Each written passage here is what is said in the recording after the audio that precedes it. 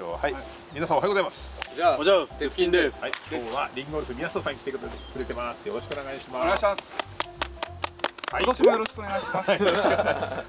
ということで、えー、と今日はね激アツレッスンで宮下さんに1年ぶりに90を切ってもらおうという企画をやります。最近どうなんですか最近100ばっかりです。100はいり。ょうくんでいやでもやっぱこんだけ天気いいし、こんだけやっぱいいコースで、もう90を切れないと、うん。もうちょっと他のゴルフ場ではちょっとなんかプレイしてほしくない。ね。ぜひここで出してほしい。ここで出してほしい。はい、激アツコーチ海斗くんで。すおはようございます、はい。い、やもう富士山が朝から言ってましたよ。綺麗 宮下さん来るぜ頑張るぜ言うて雨降らせねえよ。朝からテンション高い。やっぱコーチ陣としてもやっぱぜひスコアを出していただきたいです。頑張るよ俺も今日というはことで激アツレッスンよろしくお願いしおます。願いします。じゃあむずいんだよね。難しいんだよ宮下さん宮下さんこれ何ですかこのこれはね未来ゴルフのテニットっていうドライバーで。未来ゴルフ。かっこいいから使ってますこれどう見ても難しすぎるでしょめっちゃむずい。めっちゃ難しそうですね。いやこれ無理だよないやちょっと僕たちゴルフやってる人でもちょっといや難しいなって思っちゃうクラブですよね。避けたい避けたい、そうですね。えなんでこんなの使うんですか？確かに。いや最近のドライバーって、うん。みんなここがビヨーンって平べったくて薄いじゃないですか。ああ確かに。いやもちろんもちろん。なんか嫌だなって思っててよくげんこつドライバーっていうらしいですよ。はいよこれで当たるとちゃんといくんですけどいやタルトほぼスライス。いや確かにこういうタイプは当たったら一番飛ぶタイプなんですよ。一番飛ぶはい。一番一番飛ぶんだ。当たるまでが一番難しいタイプなんですよ。僕気になったのは、はいこのウェッジなんですけど。これ一番長く使ってる。これザ・ウェッジってバウンスマジックっていうウェッジなんですけど、うん。これ僕のアメリカ行ってた住んでた時のコーチが、うん。あの監修してるんですよ、あそうなんそうなんですよ。えこれいいっすよ。これマジでいいです。マジ抜けいいし女子プロとかすっげえいいと思います、これ。はこれ見たことないな。バンスマジック。い、はい。一昨年あ3年前のゴルフフェアで買いました。へえすげえすげえすげえ。でこれ今これ初代なんですけど、もう2シリーズ出てて第2シリーズも出てて、マジでおすすめなんで、お買い求めはこちらまで。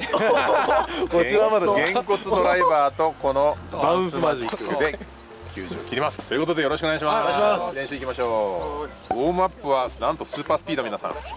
これいい。この前ミケルソンが使ってるのを見て、ずっと買うの我慢してたんですけどミケルソンが使ってるのを見て我慢できな買うしかねえと思って。ミケルソンが使ってるからみんな買い始めたの。あそうなんだ。そうだよ。あじゃあやっぱミケルソン。ミケルソンが一昨年のファーマーズかなんかで使い始めたんですよ。そう。本当に使ってるのあの人。スーパースピード目指すミケルソンそう。いやいろんな人使ってるの知ってるんですけど。さあ練習いきましょう、はい。これ最初何から行くもんなんですか普通は？みんなやっぱウェッジからだよね。そうですね。や多いよね。っぱりウェッジでペース面の意識してからうん。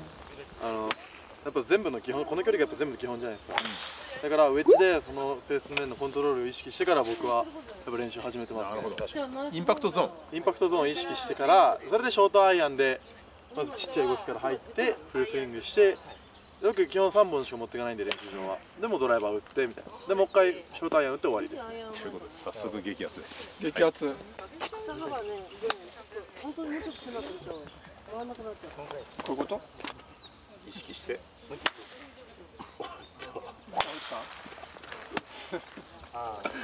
ちょっと不安。は、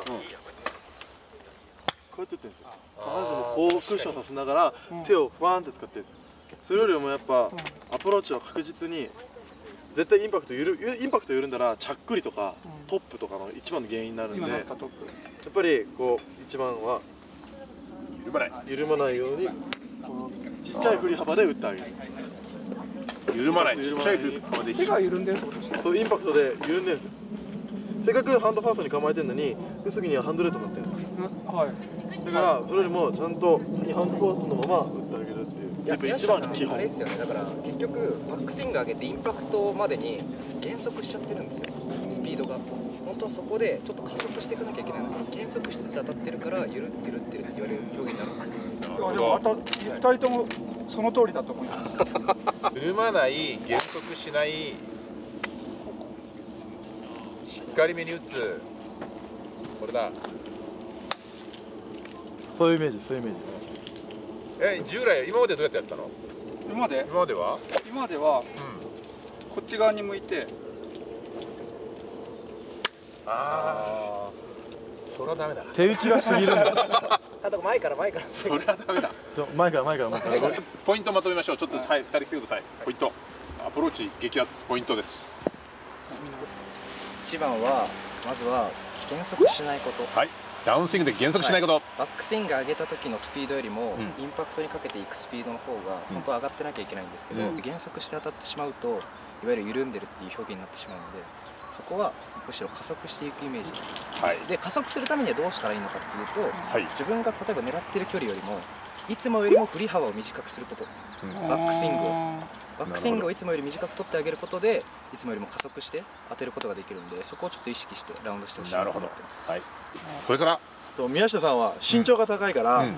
こうウェッジは短いクラブが短いんで、うん。やっぱこうやって体が上がりやすいんですよ。なるほど、体が浮きやすいからいつもあの当たる打点がバラバラになっちゃうんですよ。うん。手前目に入ったり薄くあの厚く入入りすぎちゃったりとか、うん。だからやっぱ前傾姿勢をキープして緩まないようにしっかり目に打つ。っていうのがやっぱ大事かなと思います。その2点。はい。今日一番聞きたかったことをもう聞けました。さあ行きましょう。ありがとうございます。さあ行きましょう。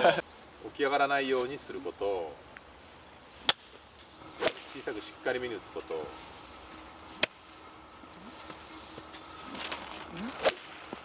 緩まないこと。こうかインパクト緩まない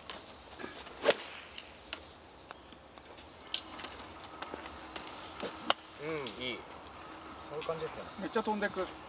でも音も違うじゃないですか、うん。もうちょっと左と90切りアプローチ大事ですよね。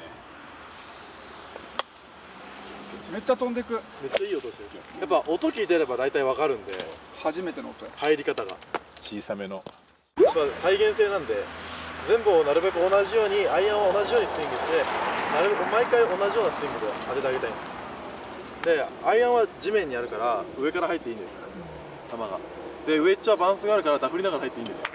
でもこうやって緩むと打点がバラバラになっちゃうんで一定にさせてあげましょう。バウンスがあるから少しダフっても大丈夫。緩まなければ。緩んだらダフった時にちゃっくりになっちゃうんですよ。なるほど。バウンスがあるからこそ緩まない。ね。緩んじゃダメだ。じゃあそれ行きましょう今日一日ね緩まない緩まない僕ドライバー気になったのが、はい。せっかくティーアップしてんのに、ん。インパクトに集中しすぎなんですよね。ボールに対しての意識が強すぎるんですよ。うん。もうちょっとその出玉の意識とかそのあ球のイメージを出したらここに向かって打たなくなるんですよ。ただボールの位置はこの辺だと思ってこの辺にあるボールを打つイメージで打ってあげるだけであのこういうチーピンがなくなります。何？最近それ多い。このチーピンが多いのはボールに向かってガッて力が入りすぎてるんですよここのボールを打つイメージこの辺にあるボール。ここにそこにボールがちょっとそこにボール持ってみて。ボール持ってどの辺にボールがでここにあそるボールんなとこにイメージを打つイメージで振ってあげるだけでスイングのプレーンが全然変わります。でこうこう振ってこれ振ってこれが通過してここをそうそう通る時そうのイメージ。に当たる。あここうじゃなくてこう。そう普通に。ここにあるとプレーンがこうなってくるんですよ、プレーンがこう縮みやすくなってくるんですよ。だからもっとこっちでリリースしてあげないと。なるほど。フォローにこでドライバーが苦手な人って絶対浮かして打つんですよ、最初にドライバーを浮かして打つんですよ。それってインパクトに意識が集中しすぎててここに当てたいから同じところで構えたがるんですよ。もっと先でイメージしてれば全然下に構えてそのままバーンって打てるようになるんで。うなるほど。イメージをもっとここに地面に？そう地面につけながらえ上げる人って苦手だからドライバーの。ダフったりとか天ぷらするのが嫌だから天ぷらするってことは打ちにいってるんですよボールに。フォロースルーをもう少し意識して。そうそうそうそう。ですかめっちゃ飛んだ超飛ぶしこれ。ちょっとぶ。お。この人たち教えるのうまいですね。え全然違う球でした今。全然違うオッケーオッケどうもいそんなもんっす。よさっき構え方おかしかったーベース開いただけですよ。はい。プレーンは悪くないよかったっすかプレーンは悪くない。こうか。そうあでもうまくなったね。ここっす。ようんそこを抜くって言ってたね。まあそれも今日はやってみましょうお今よかった。まあでもあのぐらいの曲がりだったら。